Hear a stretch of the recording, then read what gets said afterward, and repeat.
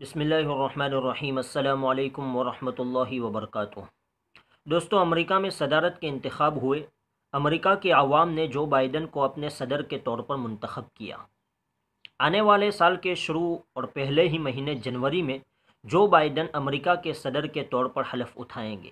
آپ جانتے ہیں کہ طالبان اور پچھلی حکومت یعنی کہ ٹرمپ حکومت کے درمیان ایک معاہدہ ہوا تھا اور اس معاہدے کے اوپر دستخط ہوئے تھے کہ ٹرمپ حکومت افغانستان میں موجود فوجیوں کا انخلا کرا دے گی۔ یعنی کہ افغانستان میں جو امریکی فوجیوں فوجی ہیں، ان کو ٹرمپ حکومت واپس بلا لے گی۔ اب جو بائیڈن صدر بننے جا رہے ہیں، جنوری میں وہ حلف اٹھائیں گے۔ کیا اس سے پہلے پہلے ٹرمپ حکومت اپنے اس معاہدے کے مطابق عمل کرے گی؟ کیا اپنی اس دستخط کا دستخط کا پاس و لحاظ کرے گی؟ اس پر عمل کرتے ہوئے امریکہ میں افغانستان میں موجود امریکی فوجیوں کو واپس اپنے ملک بلائے گی۔ اس کے مطابق خبر جاننے کے لیے آپ ہمارے ساتھ بنے رہیے۔ آپ ہمارے ساتھ دیکھ رہے ہیں اشاعت ٹی وی یوٹیوب چینل۔ اگر آپ نے ہمارے چینل کو ابھی تک سبسکرائب نہیں کیا تو کر لیں۔ آگے بڑھنے سے پہلے بیل آئیکن بھی دبا لیں۔ تاکہ ہماری طرف سے آنے والی ویڈیوز کی نوٹیفیکیشنز آپ کو ہر وقت ملتی رہے۔ افغانستان، عراق سے امریکی فوجیوں کا انخلا صدر ٹرمپ مزید امریکی فوجیوں کی وطن واپسی کا آرڈر جاری کریں گے۔ امریکی میڈیا نے دفاعی عہدیداروں کے حوالے سے رپورٹ کیا ہے کہ توقع ہے صدر ڈونلڈ ٹرمپ افغانستان اور عراق سے مزید فوجیوں کے انخلا کا حکم دیں گے۔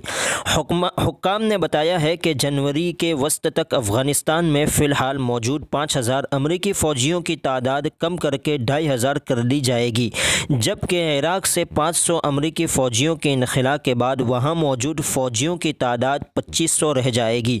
صدر ٹرمپ پہلے بھی کہہ چکے ہیں کہ وہ کرسمس تک تمام فوجیوں کو وطن واپس لانا چاہتے ہیں۔ ٹرمپ طویل عرصے سے امریکی فوجیوں کو وطن واپس لانے کے اعلانات کرتے آئے ہیں اور انہوں نے ان ملکوں یعنی عراق اور افغانستان میں امریکہ کی فوجی مداخلت کو مہنگا اور غیر مؤثر ہونے پر تنقید کا نشانہ بھی بنایا ہے۔ ستمبر میں پینٹاگون نے اعلان کیا تھا کہ وہ عراق سے اپنی ایک تہائی سے زیادہ فوجیوں کو ہفتوں کے اندر اندر وطن واپس لے آئیں گی۔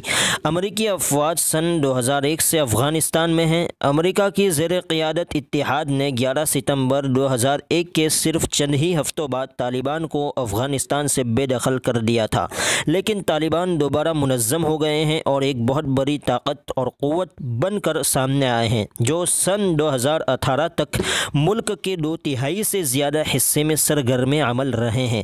امریکہ نے اس سال کے شروع میں طالبان سے امن معاہدے کے ایک حصے کے طور پر افغانستان سے فوجیوں کا انخلا شروع کر دیا تھا۔ فوجیوں کی واپسی اس تاریخی معاہدے کی شرط تھی، جس پر انتیس فروری کو امریکہ اور طالبان نے دستخط کیے تھے۔